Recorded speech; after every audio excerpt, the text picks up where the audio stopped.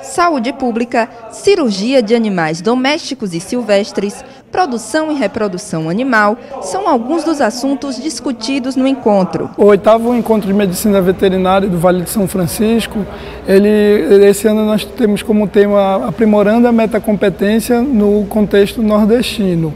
E o objetivo é congregar tanto discentes quanto os docentes e profissionais da medicina veterinária e isotecnia no Vale de São Francisco, bem como de outras regiões do Brasil.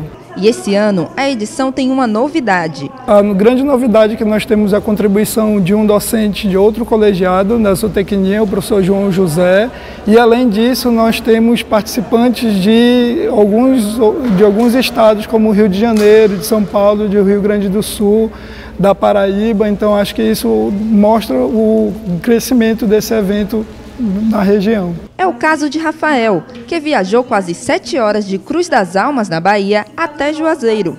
Ele cursa medicina veterinária na Universidade Federal do Recôncavo Baiano e a escolha dessa segunda-feira, primeiro dia de evento, foi o minicurso A Atuação do Médico Veterinário como Perito. Eu acho que esse minicurso pode me trazer um pouquinho mais de informação e conhecimento para usar, para que eu possa usar no futuro.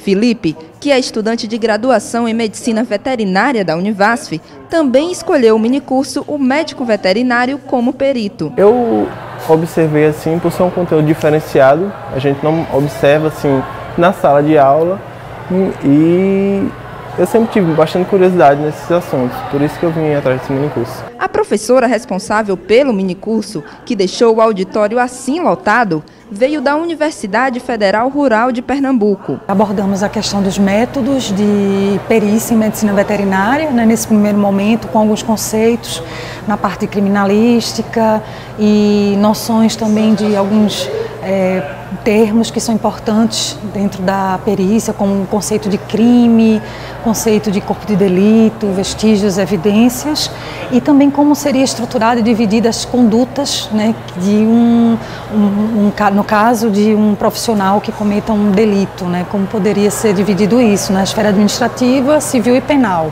Segundo os organizadores, a programação do evento é pensada especialmente para a capacitação dos estudantes. É por isso que Samela foi escolhida para representar os colegas na coordenação do VET Vale. A gente tenta sempre visar a área que a gente tem maior dificuldade no ensino da nossa graduação, né? Como as, as áreas de grandes animais, que hoje em dia a gente não tem uma estrutura para ter salas de cirurgia, de clínica.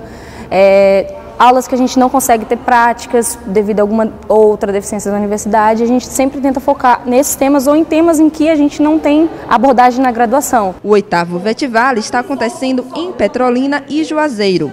As atividades no complexo multieventos da Univasf vão até a noite da quarta-feira. Como eu já estou aprendendo, estou gostando muito, espero continuar aprendendo bem mais e usar esse conhecimento futuramente.